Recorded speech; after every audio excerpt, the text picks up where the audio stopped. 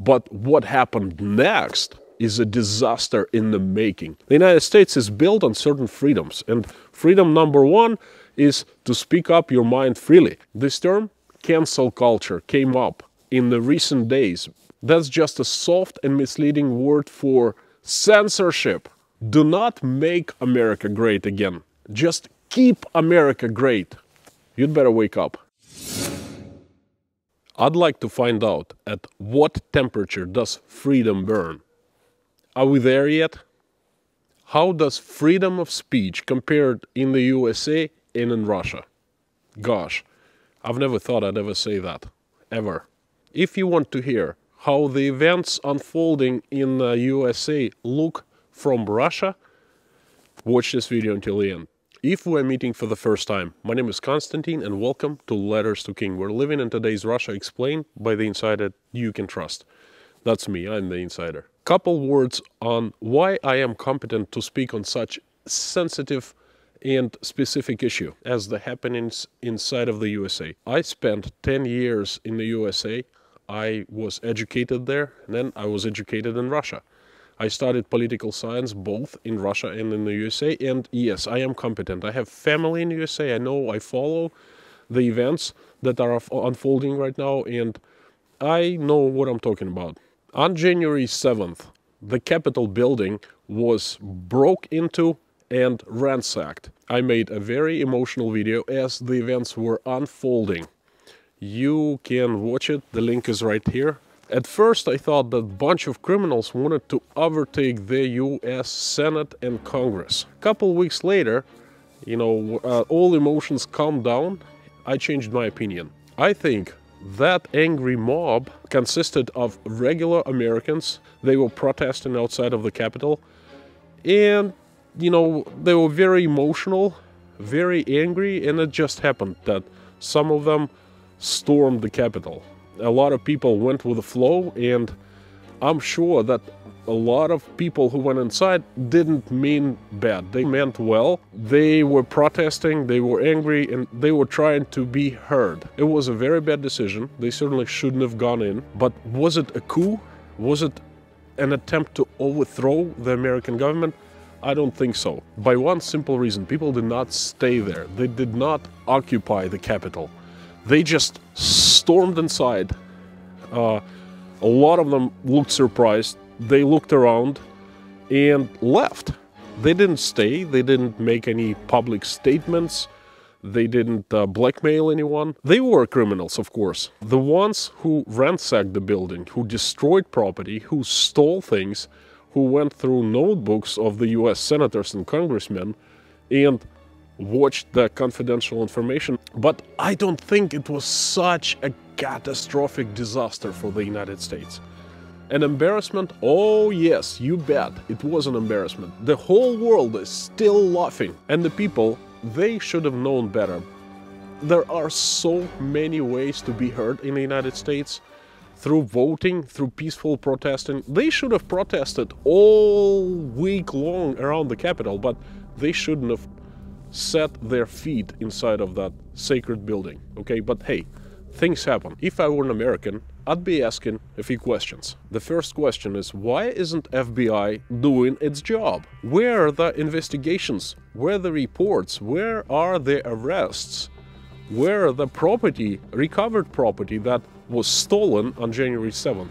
What about access to that sensitive classified information? The second question is why no government agency is held responsible for this entire mess that happened. Uh, there have been a lot of finger pointing at each other, but where the results? Who is responsible? Why isn't there the answer? Why aren't Washington, D.C. officials questioned and held responsible for this thing that happened within their jurisdiction? Why haven't any Capitol Police members charged and uh, questioned on this whole thing. What about the police officers who opened the doors and let the protesters in? That certainly was a crime, okay? One cop was crushed, killed, basically. Why no one is answering for that? If I were in your shoes, I'd be furious. I'd be grilling the officials with these questions. And I wonder why people in the USA are not doing that. That's beyond my understanding. Perhaps looking at things happening in the United States, I'm being wrong, okay? But uh, these are serious issues, right? Uh, please help me out. Let me know in the comments what do you think on the issues? Why aren't you asking the questions? Or perhaps you are. What's going on? let's discuss it because hey these are serious challenges and you just can't keep silence on that again storming the Capitol was embarrassing but it was not such a huge huge disaster. Probably a mistake for some people criminal mistake and for some the majority. It was a stupid mistake all right? Things happen. Embarrassment yes. The whole world is laughing yes. But hey you know what? That doesn't hurt much. But what happened next is a disaster in the making. That's probably the most important issue, challenge, a problem, catastrophe in the entire US history. It certainly is the biggest challenge the country has faced in the last hundred years. After the Capitol was ransacked, the actions followed. A lot of people, a lot of Americans were angry the censorship was enacted in the United States, perhaps for the first time in history. A messenger used by the Trump supporters, Parler, was shut down. Uh, the latest I checked, the Trump supporters were the citizens of the United States, protected by the Constitution. They have rights and freedoms. They have freedom of speech. And they can say whatever they want. And people can disagree or agree. But taken away their ability to communicate and spread their word is censorship, my friends. And it's so un-American, that's beyond belief. The actions were actually swift. Like a couple days later, Parler was shut down. There have been talks about shutting down messengers, private messengers such as Telegram. It's not even an American messenger. How can you shut it down? But I'm sure in the United States, big tech companies can. If you're finding this video interesting, please consider liking it and subscribing so you don't miss any further updates. And please share it in the social media. Hopefully they won't censor it. I dare you. Let's find out if they censor your message with my video. There have been talks about censoring private messages in messengers. Censoring posts on Facebook. Ah, give me a break. Then it got worse. I was watching CNN and I could not believe my eyes. People were coming out publicly and speaking of enacting official censorship to silence Trump supporters. Turn down the capability of these conservative influencers to reach these huge audiences. And then we're going to have to figure out the OANN and Newsmax problem. You know, that these companies have freedom of speech, but I'm not sure we need Verizon, AT&T, Comcast and such to be bringing them into tens of millions of homes. I don't really like Donald Trump, and very few people do, okay? He's, well, this he's not the topic of this video, but you know what? He certainly is an American citizen, and all his supporters who believe him, they have a right to do so. They have a right to speak up. They have a right to, you know, congregate. They have a right to protest. What's going to happen next? The protest rights will be taken away? Is this Russia or America? I couldn't believe what I saw on CNN. Who do these guys think they are? Let me tell you, 20 years ago, when I first came to the USA, these things were unthinkable, okay?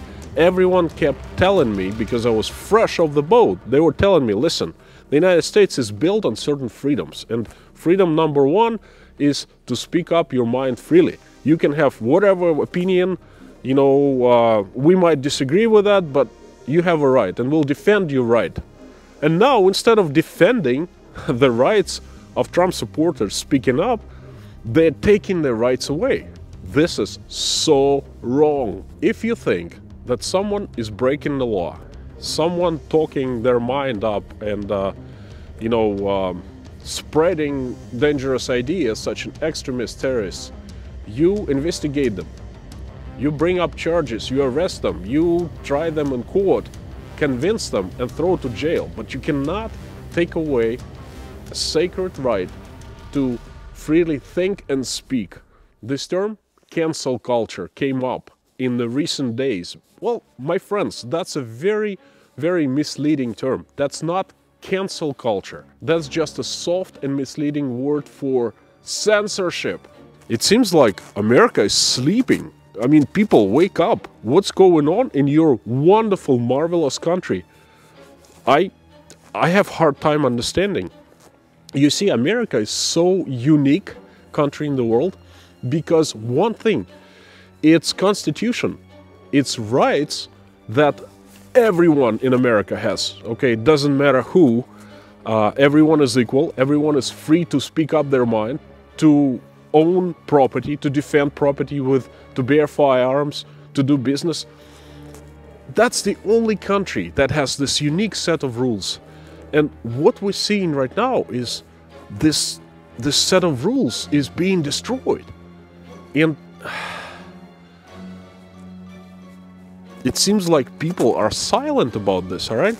Uh, I don't think it, it, this is a matter that concerns Trump. I think it's a matter that concerns all the Americans, okay? Democrats, Republicans, this concerns regular people now, okay? Regular Americans, fellow Americans. Do not make America great again. Just keep America great. You will do the world a great favor if you keep your country whatever it has been over 200 years. Don't destroy this precious material that your country is built upon. What are you doing? If you want to see lack of freedoms, if you want to see complete and utter censorship on every corner, come to Russia. Hey, come visit me. You can stay in my house. I will take you and show you around. I'll, you will see how things are done here. You will see what happens when people try to speak up freely. Have you heard of a last name Navalny? Well, go ahead and Google and you see what happens when people let the power that they have in their hands to the government. Okay? Russia 15 years ago was more or less free country. And you know what? We did not wake up in a complete censorship tyranny overnight. It happened by small step. I call it stepping stones. Okay, first they passed a law prohibiting uh, speaking for this topic, then they passed another law, and a series of many, many, many, many steps has brought us to uh, this mess, this situation, this reality that we are living. If you want to live in a country like Russia, so please let others in your wonderful country do whatever things they are doing. But if you want to remain in a free society, in a free country, then wake up. This is my advice for you from Russia. Wake up and take the charge. Keep America great. Don't let it don't let it be destroyed. And you know what? It doesn't take much. Keep on shutting down messengers just because people uh, you know write each other things that you don't like. Keep on censoring posts in social media, and in 15 years, you will wake up in a complete tyranny and you will be asking yourself questions. How did we get here? Okay, so you'd better wake up. You know, I have a pretty good idea how Americans have let it happen, have let it go so far, and I'm going to speak on this issue in my next video. So please tune in.